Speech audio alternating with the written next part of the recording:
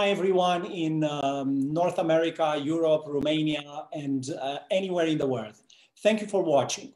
We're starting today the new season of Leon Feraru conference series, and we are very excited to have seen that uh, the first season was um, very well uh, received, and we have um, we have received a lot of um, a lot of uh, nice words, kind words, and um, a very good um, response.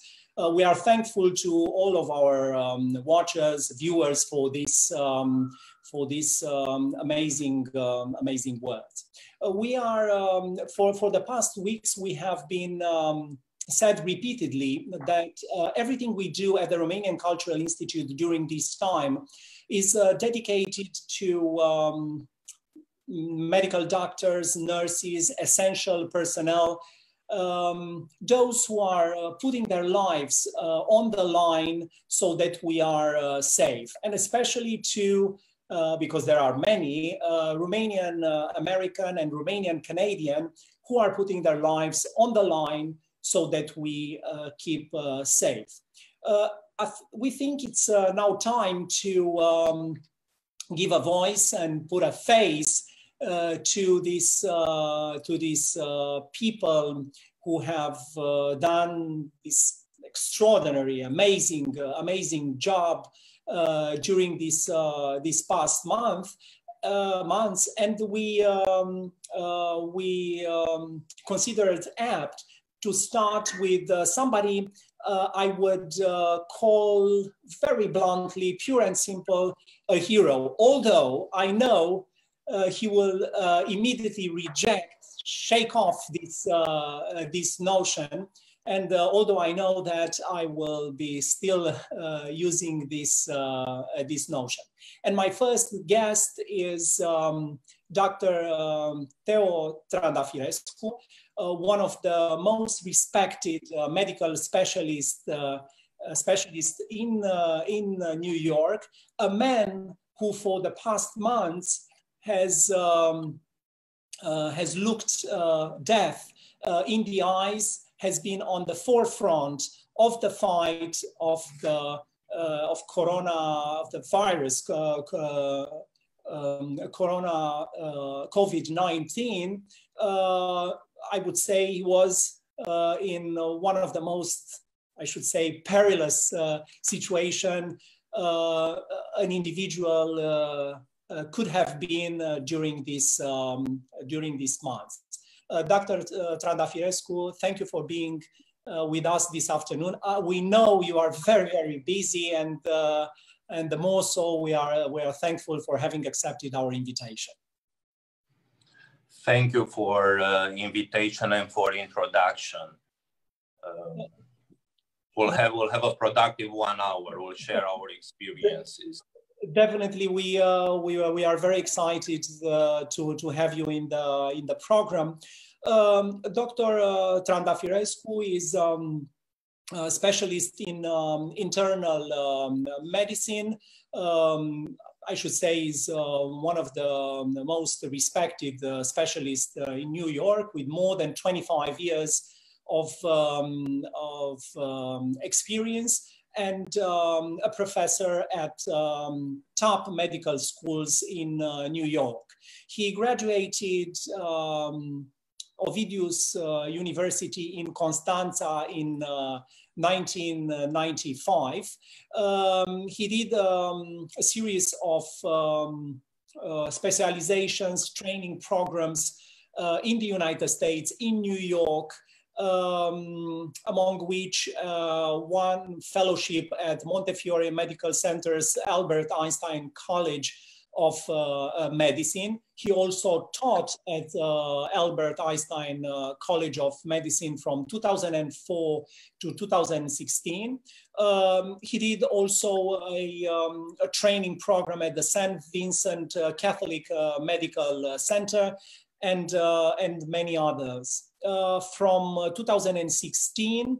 He um, teaches um, medicine at Mount Sinai uh, Medical School, and as a practitioner is um, affiliated with um, Queen's um, Queen's Hospital Center, um, as everybody knows, one of the most dangerous uh, place in New York, in America, everywhere in the world uh, during this time. Uh, Dr. Trandafirescu, again, uh, thank you for being uh, with us uh, this afternoon.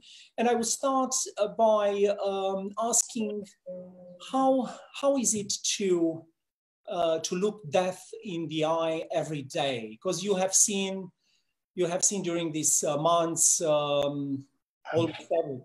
Uh, and uh, and every day, every day you confronted uh, the virus, you confronted the dreadful, the dreadful effects of this virus. How is it to look death in the eyes every day? All healthcare practitioners and all public servants are heroes we have we've had weeks of adrenaline driven heroism in our healthcare. With that easing medical staff is able to process what's being on right now. It cannot be overstated how unprecedented this pandemic is and how it affects all disciplines across healthcare in united states and all over the world.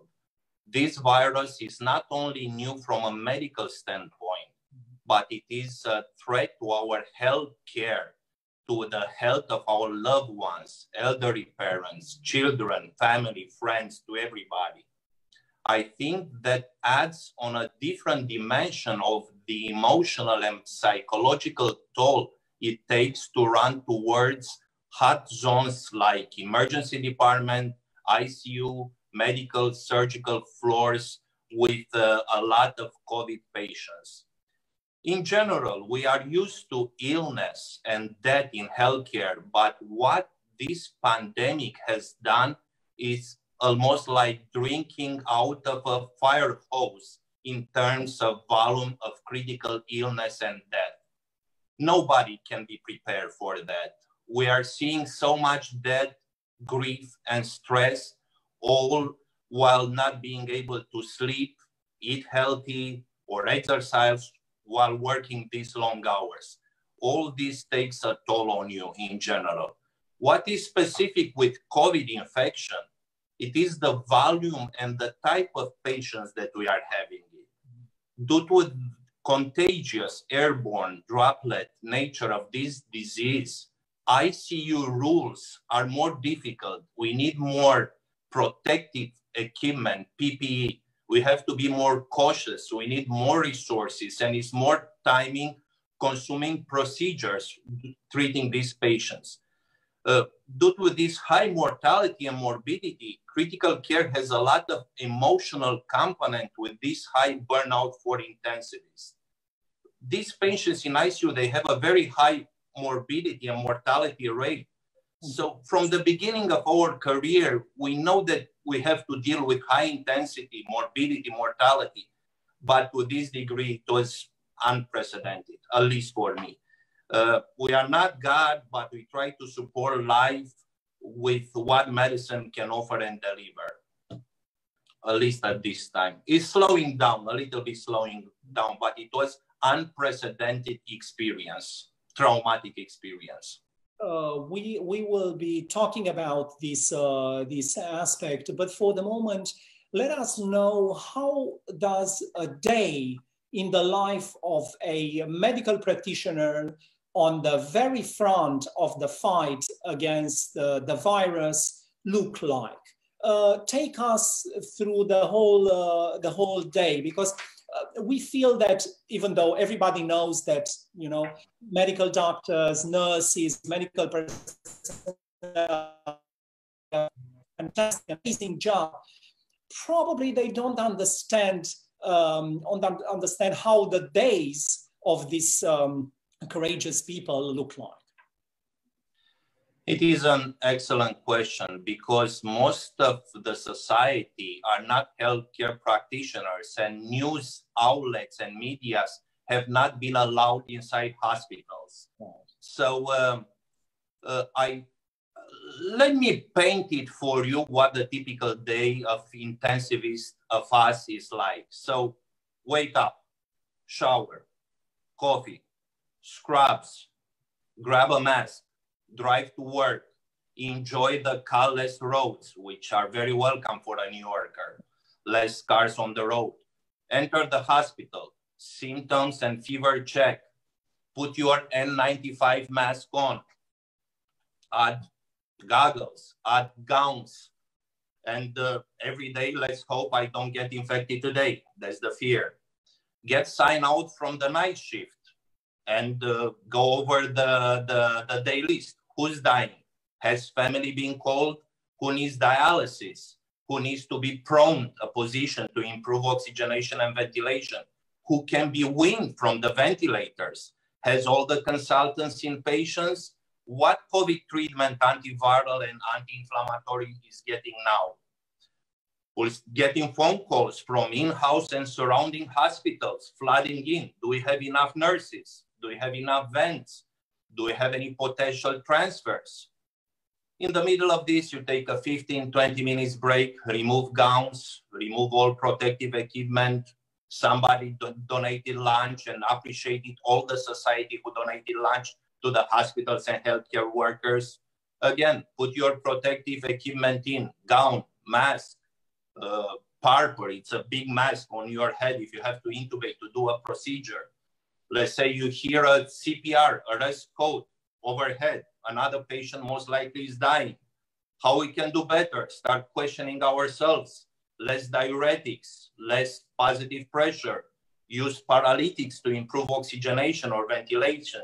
Consider ECMO, an extracorporeal circulation for very selective cases uh, ER is calling you in the meantime with another admission, another admission, another young patient. How is this possible? We have so many patients coming. Let's get phones so we can FaceTime family with loved ones. So try to do a FaceTime call for the patients. It's very understandable. They are panicky. Patients, family, everybody, because of this lack of transparency.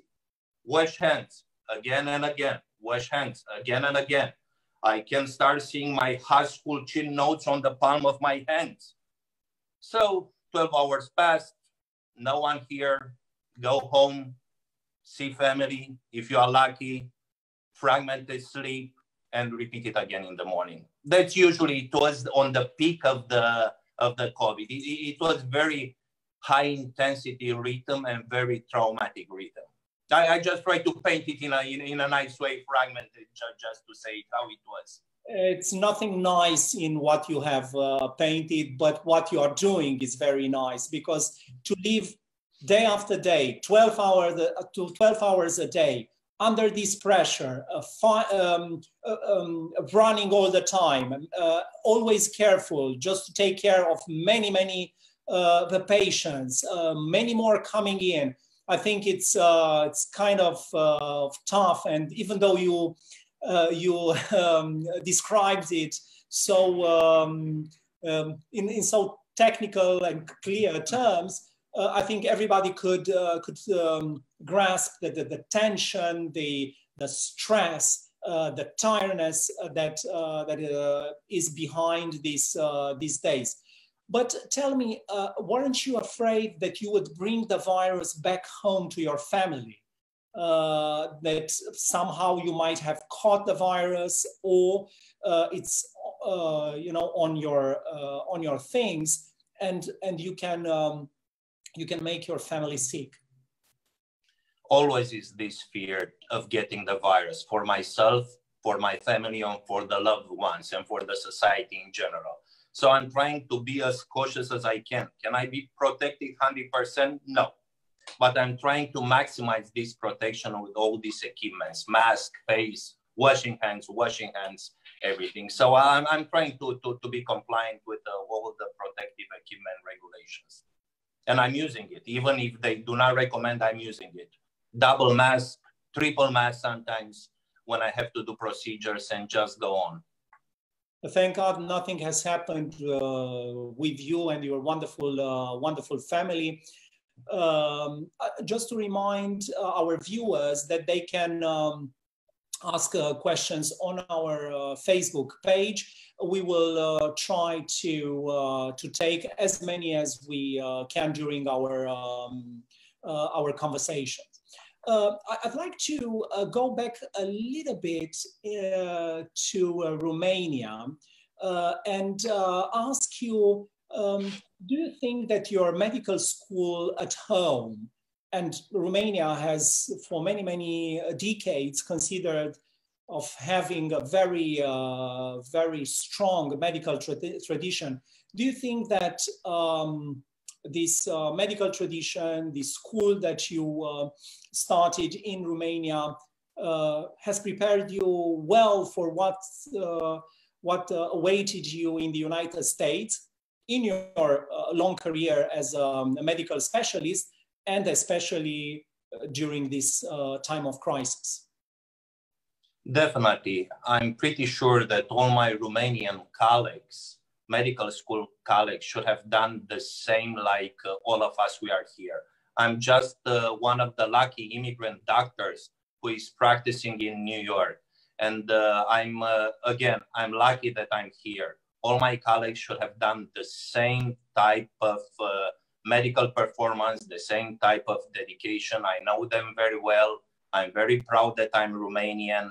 And I think the uh, Romanian medical export of human resources all over, not necessarily in United States, I think the whole Europe, it, it was the most productive and high quality exports. I think they should increase the taxes to all these medical exports, the government. It's a high quality and very appreciated uh, export that Romania did. To be more specific, I was lucky also to have a very specific ICU training and subsequent experience in one of the best critical care systems in the world at Albert Einstein at Montefiore. My boss at that time, Dr. Vladimir Kvetan, he was from Czech Republic, where high school was from Austria. He did his high school there and medical school here at Columbia. May he rest in peace. Was one of the world leaders in critical care and disaster medicine, and he prepared us. So I was lucky by being a Romanian, trained in Romania with good values and very good educational system, and lucky to have a good training here. Uh, usually, to say that you are a Romanian doctor in in United States means definitely a professionalism warranty. I think attitude and motivation, determination are important in any career and also in medicine too. Um, I um, going back to the the current uh, the situation.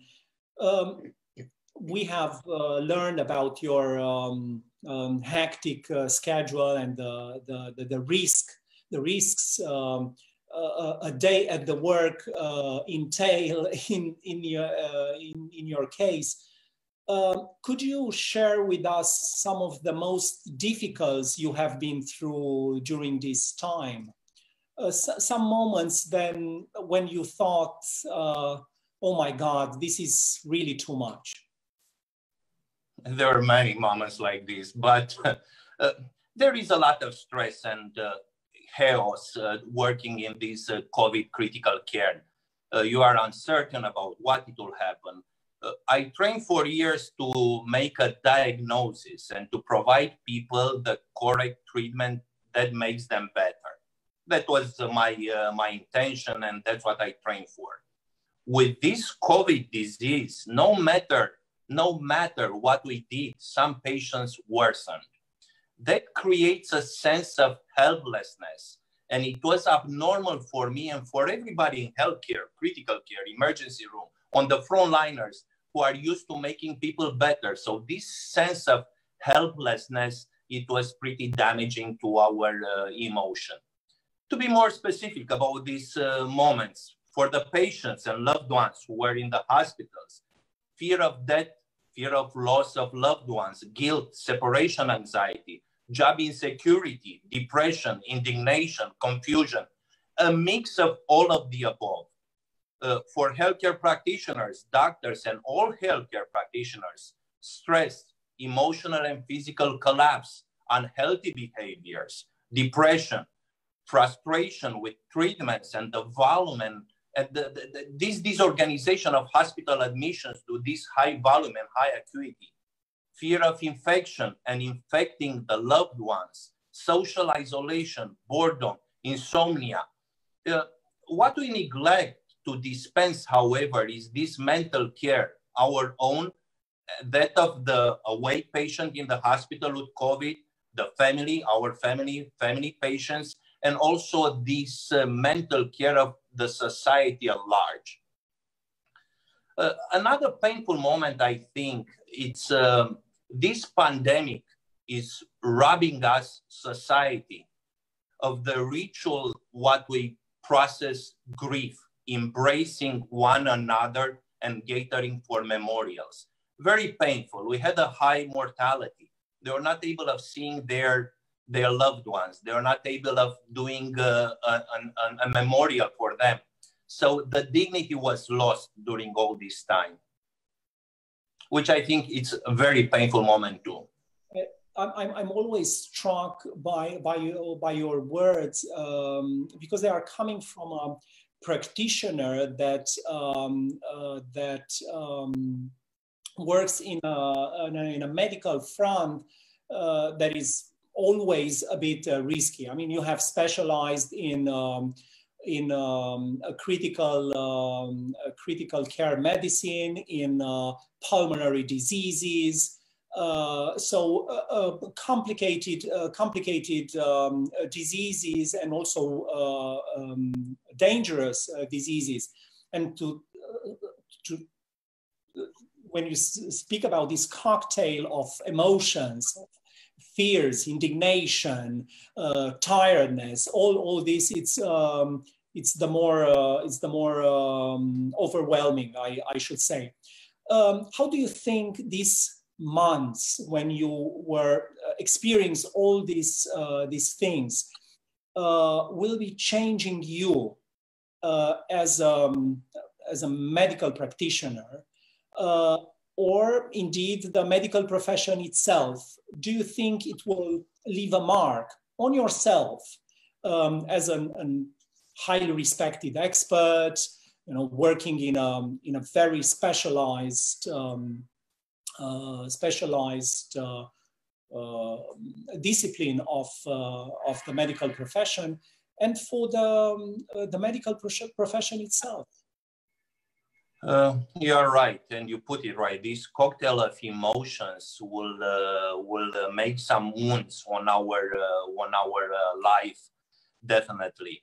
Uh, critical care is medical specialty that deals with critical patients, condition that are life-threatening, provides life support, invasive monitoring technique, procedure, CPR, resuscitation, and end-of-life care with dignity care is changing? Yes, it will change. To what degree, we don't know. Time probably will let us know. But frontline health providers, we find ourselves consumed in this providing medical care, intubation, central lines, uh, feeding tube placements, ventilators, uh, oxygenators, medicating, rounding to ensure that changes in condition are readily noted and we act upon these changing conditions in general, medicine has a broad spectrum of practices and practitioners, but the love for science need to be useful for society and to have compassion all the time stay the same. This one will stay the same.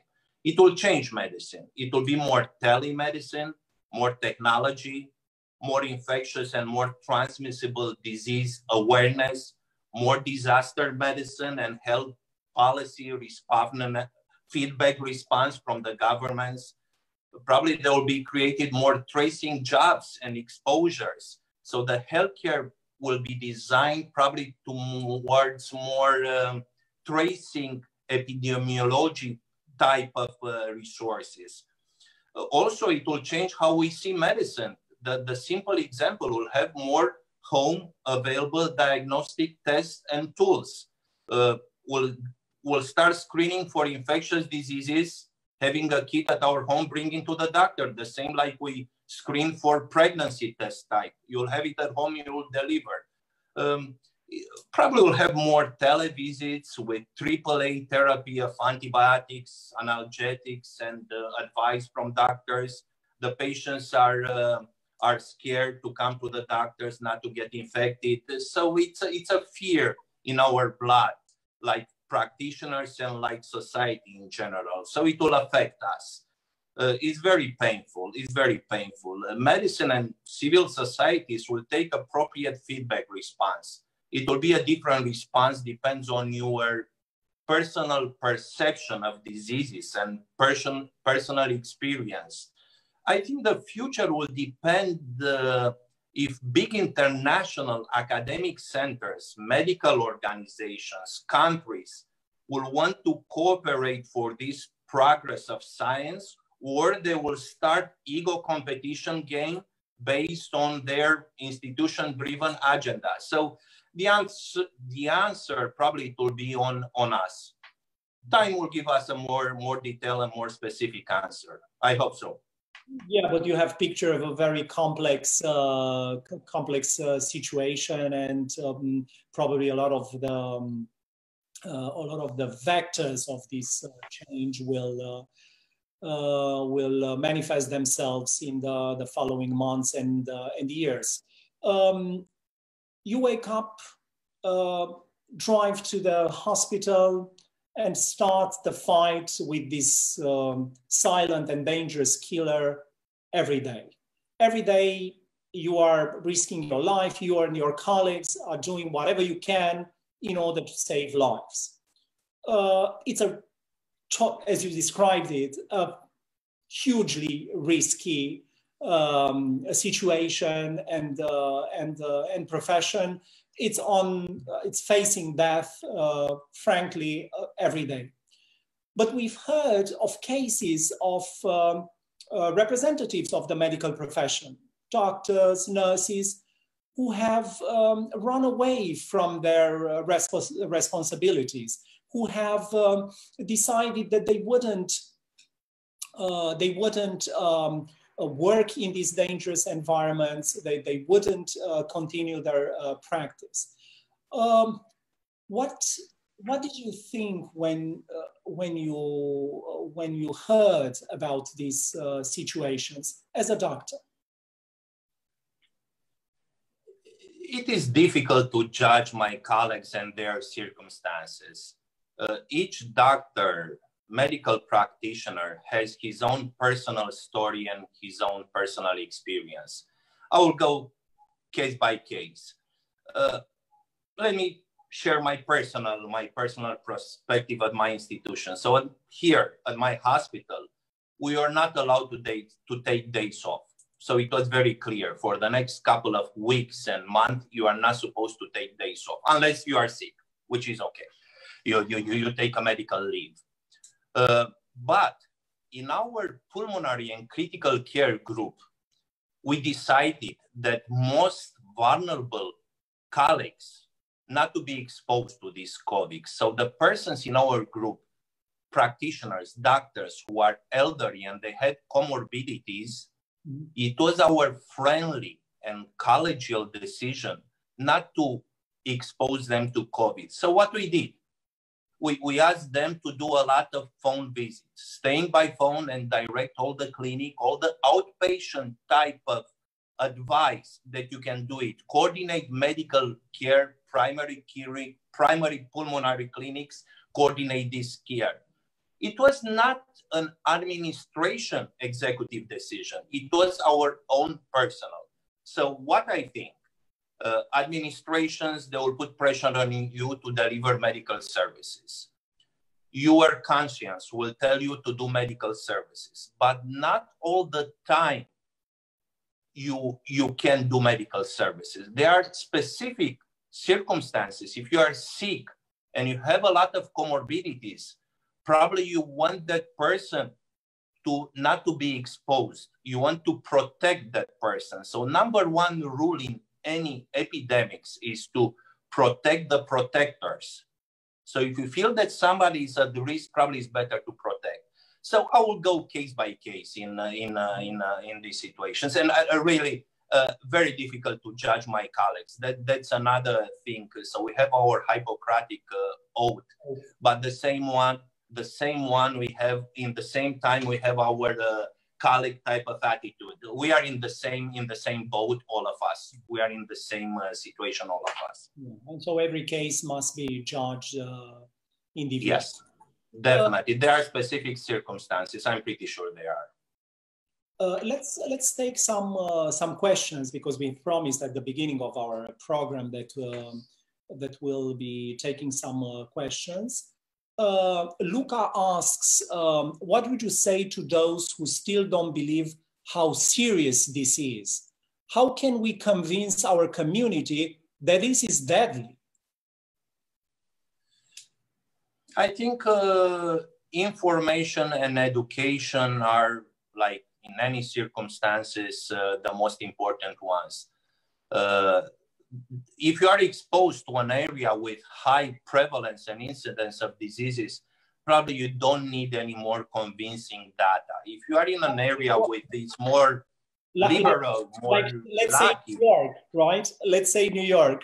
so in New York, I, I don't think it's un, un, undeniable in New York. I mean, all of us, we've got this experience. You go and probably a friend, a relative, somebody got more or less affected. So New York, uh, look on the data that we have it here, morbidity and mortality. It's like uh, we got hit pretty hard. If you are in an area which, lucky enough, there are not too many cases, and you get your information from a specific social media, your own group, and you don't have such a broad vision, you have an unilateral vision, I would recommend to look twice, to think twice, and to try to be more open minded. I, am pretty sure everybody is smart. Depends how you how how you get your information and how how you put it this information. But it, it, it's a reality. It's undeniable.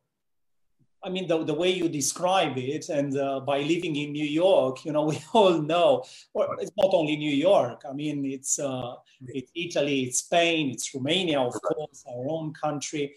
So um, yeah, but information and education and the right sources of information and comparing comparing all these sources of information and looking for authority who's sending this information is always a good uh, a good advice.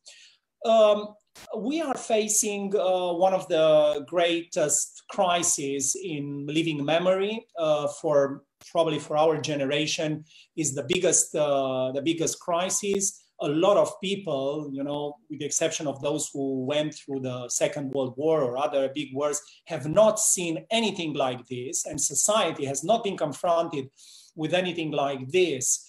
Um, do you think that um, world will be um, uh, will be transformed by this uh, by this uh, global shock?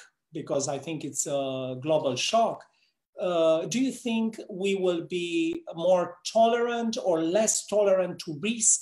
We will be more, um, I don't know, um, uh, our attitude towards death and, uh, and illness uh, will change uh, given this um, outstanding situation that we are passing through?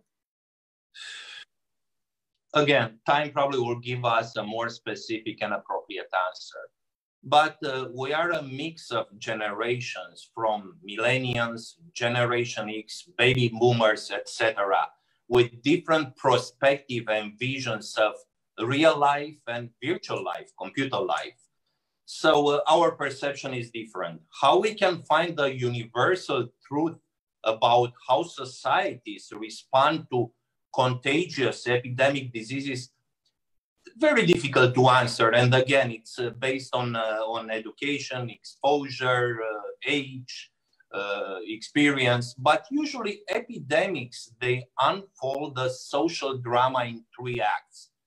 The first one is the earliest signs are very elusive. Nobody believes it. They are whether influenced by a desire for self-reassurance or a need to protect some economic interests. Citizens usually ignore clues that something is not good until the acceleration of illness, the diseases, and death are coming and they force for this acknowledgement. This is part one of this uh, social drama. After that is coming part two, recognition. Launches the second act in which people demand and offer explanations. Everybody is an expert at this time about diseases. It's based on personal perception. We just discussed, and these are done both both uh, morally and mechanistically. Spinal reflexes sometimes. Mm-hmm. Explanations in turn generate a lot of public responses. So if everybody is trying to explain something, it will generate an, a, a very big response from the public. This is the second phase. And the third phase of this social drama probably is the um, third act It's as dramatic, as disrupted as the disease itself. The panic and distress in society can be more damaging. Are we able to react? Are we able to have our feedback, appropriate feedback? That's where we are right now. Probably we are able of limiting the diseases. We are doing okay. We respond acute, at least in New York, and uh, finally we contain partially contain it. But this general anxiety and fear is causing more drama and is more disruptive to our society. Will we do the best thing just to organize ourselves and uh, go back to new normal? We'll see. Again, time will give us an answer. We'll see. Uh, it's it's true. Uh, we uh, we live in a time of uh, great uncertainty, and that's why it's always again risky to uh, to tell very uh, you know to be very sure of of oneself about about the outcome of this this crisis. But we are starting to see a little bit of the end of the the tunnel, I think. And now now I think we are um, we especially here in New York we have passed the the most dramatic, most tragic, in fact, most tragic part of the of the pandemic. Um, I, would like to ask now going into some um, medical uh, medical aspects.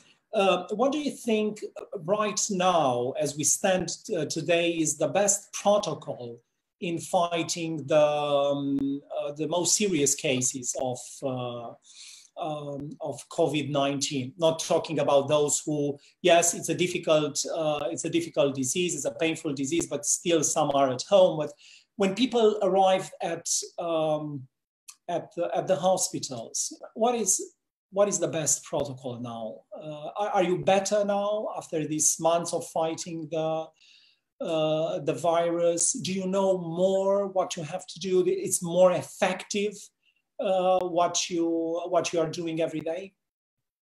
Yes, I, I think we know more about the viruses. The medical scientific world responded tremendous to all these crises everything it's all about COVID. Maybe it's too much response because we neglect the other diseases, the, the other healthcare uh, specialties and, and, and, programs. But the, the response, it was overwhelming from medical uh, societies and uh, we know more, we know more. Still we are on the learning curve. Still we are learning a lot about these diseases, but morbidity and mortality is less than how it was two months ago due to advancing medicine, advancing supportive therapy, and the multidisciplinary approach. So you uh, you are when you start your difficult days, you are now you are now more confident, way more confident that you will be able to save lives uh, at the end of the day. Not way more confident, but more confident, okay. probably that we, we advanced. We are more prepared. Definitely, we are more prepared than two months ago, medically, logistically, and like a healthcare system and like a society in general. Uh, everything it's all about COVID. We neglected the other, the other, the, the other diseases and the other medical conditions. Uh, let's take another question. Um, what can non-medical people do to help? um, do the nightly cheers help um, or should people do something else? What do you think? A good attitude will help in any time and in any society. Probably the best way is to support the elderly and the people with comorbidities.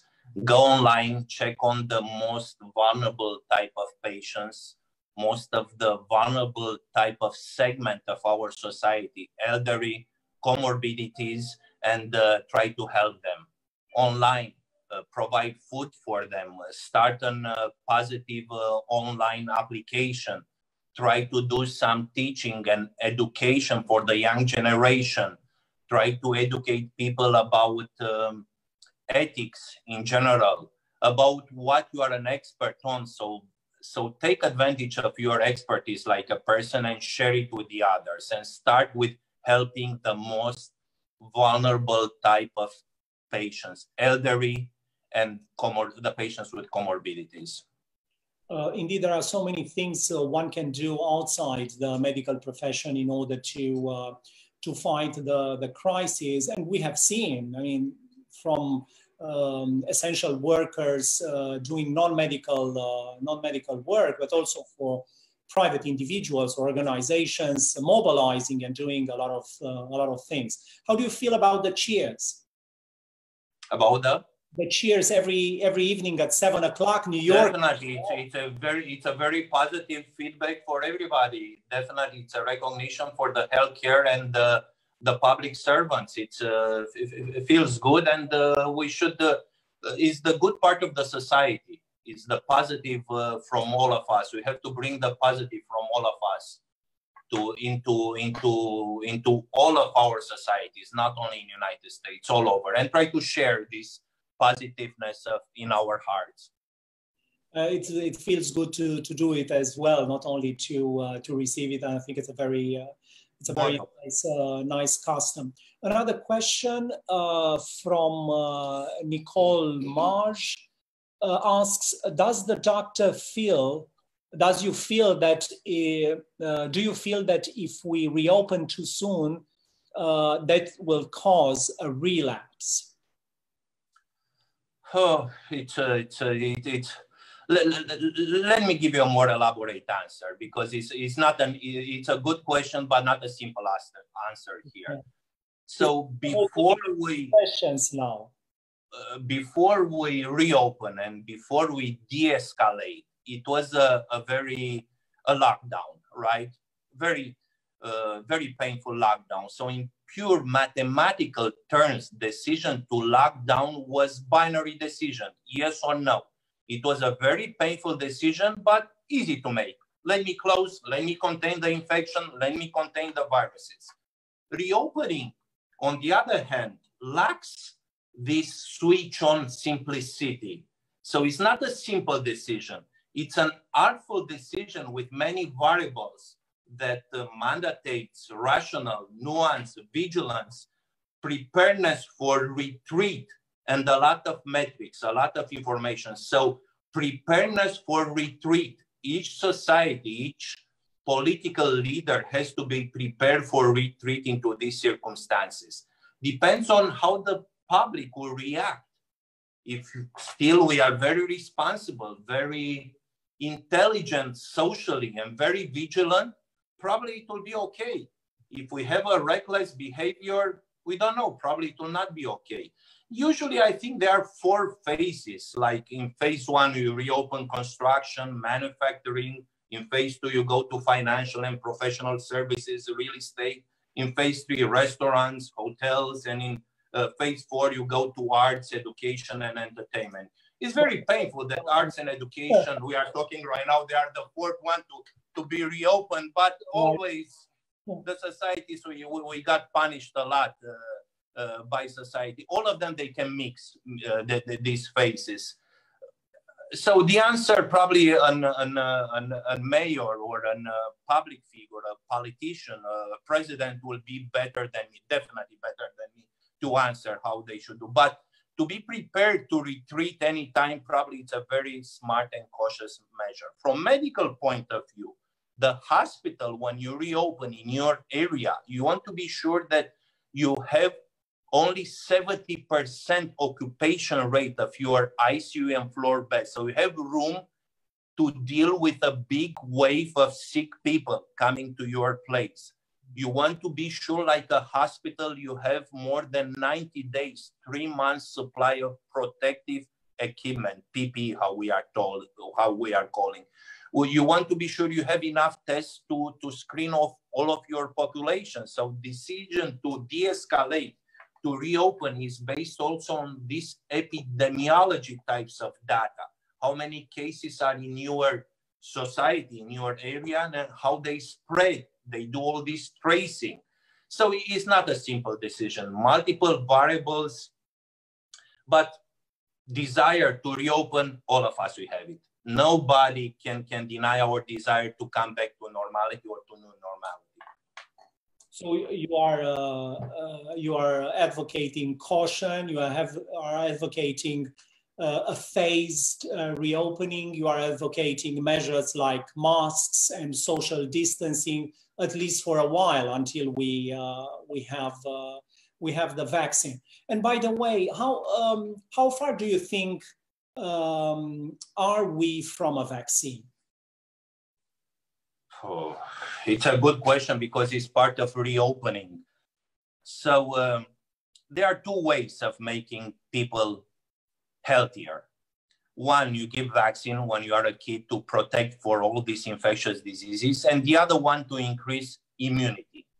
I'm a big, a big, uh, I'm in big favor for this increasing immunity by healthy lifestyles with a very good diet, rich in vegetables, fruits, vitamins, reduce stress, reduce these unhealthy habits, good and quality sleep patterns, mental relaxation, relaxation, and so on so we can increase our immunity.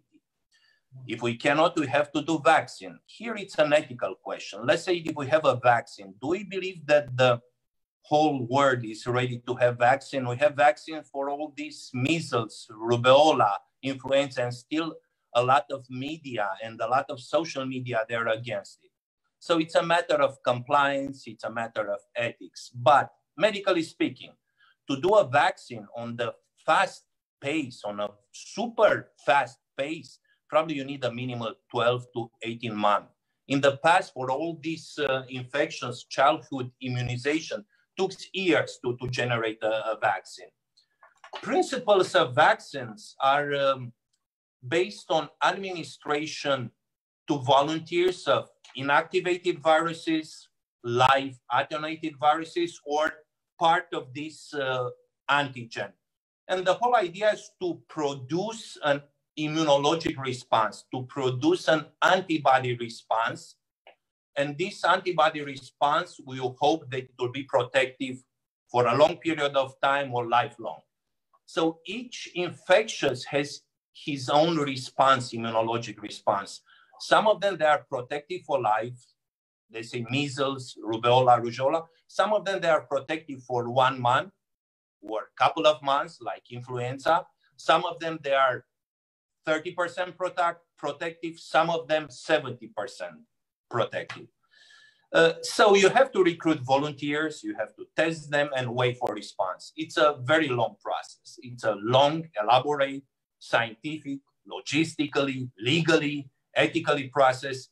But the basic rule is do not harm the patients. That's the basic principle of vaccine. Do not harm population. That's the most important act, uh, uh, aspect of doing vaccines. Right now, we are in an, a least on the oncology. In the last couple of years, it was a genetic revolution with a lot of uh, genome manipulation to treat cancer diseases in general.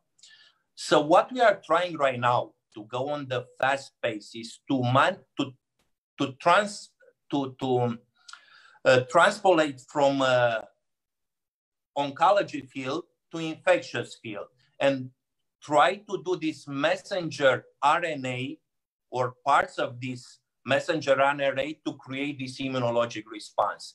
And as you can see, I think yesterday it was the big success. I don't want to name the company, but stocks went already 30% up the biggest news they already they have their antibodies but they are working on the fast track on this uh, manipulation of messenger rna and it's a lot of uh, a lot of uh, debate here. Can we manipulate our genome? Can we use it against us? So it's a lot of ethical question and it will generate a lot of public debate as you can see. But uh, how far we are?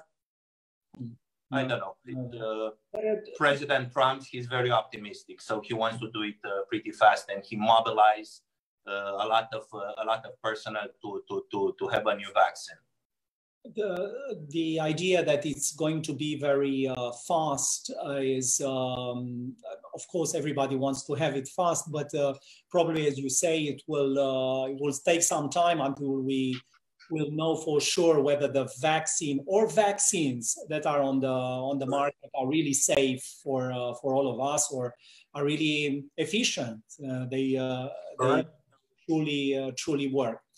Looking back at this um, at this time of fighting uh, fighting the virus throughout the world, uh, one can see that um, some countries, some states um, managed to do it better than, our, than others, uh, managed to, uh, um, to diminish the, the number of, um, of fatalities or to mobilize uh, better. Uh, what do you think that was? Uh, because um, institutions, because of medical practices, because of culture, culture defined in the broader sense, way of life, uh, um, pref uh, social preferences and, uh, and so on. How do you explain these variations? You are right. We have a great variation between states, between uh, countries in number of cases, fatalities, morbidity, mortality. Uh, in United States, I think we have a very heterogeneous population by uh, culture, by density, by um, by uh, perceptions of, uh, of life and healthy lifestyle too. There are several reasons why New York has become a United States and probably all over the world epicenter of this pandemic. Uh, why I think it's the most populous city in the United States, New York. Um, it's a most among most densely populated city in the United States. I said Manhattan has a density of more than 60,000 people per square uh, feet, highest in any country. Uh, so it's highest from all over. This density put us at risk. We have high contact. We live in crowded buildings. We run into each other on sidewalks. We squeeze like sardines in the busiest subways and we brush and uh, elbow and crowd it ourselves in bars, restaurants, events, museums. And actually, it's the funny part. We enjoy it. This is New York spirit to, to, to, to, to, to be very heterogeneous. But at this time, being so crowded uh, put us at risk. So uh, the countries who they did a lot of social measures based on this social uh, distance and very strong rules, they did better. Probably that was the most preventive measure and the most important one, how to contain it. For us, we are very dense. We like to socialize, typical New Yorkers. We have a lot of uh, a lot of places, cultural places, food places, the more diversity in the world. And uh, in Manhattan, it's very crowded, this reality. And also, we are one of the most touristic places in, the world. We are a major transit hub. We have thousands of people from China, from Italy, from South Korea visited us in weeks, in months for the New Year's uh, Eve, December, January. They were the busiest months. So uh, we live in a big city. We are proud of our city. It's our New York state of mind. But I think this one put us put us at risk of developing all these pandemics. We are not able to contain it in, in, in, the, in the right time. So this is the, the critical factor. And we will see what happens now that slowly New York State and then um, then New York City uh, will uh, slowly will slowly re reopen. Um, uh, Dr. Trandafirescu, it's been a fascinating, uh, fascinating uh, discussion. I know that you are busy and uh, we are so, so grateful for everything you and your colleagues uh, have done on, and are doing and will be doing uh, to, to keep us safe. It's been quite an honor to, to talk to you.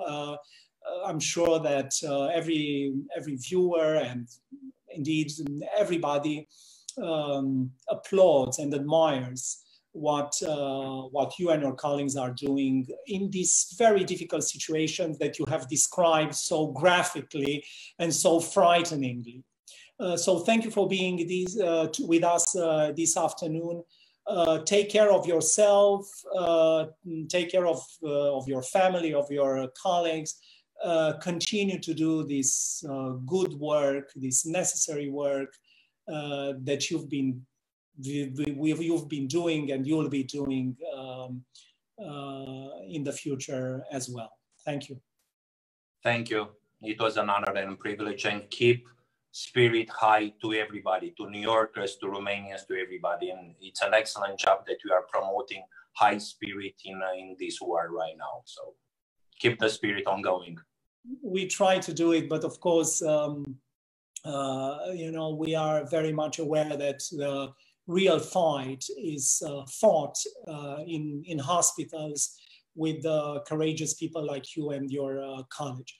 And to all our uh, viewers, um, stay safe, um, stay in touch, um, and uh, continue to enjoy what you what we have um, uh, to offer on our online um, uh, program.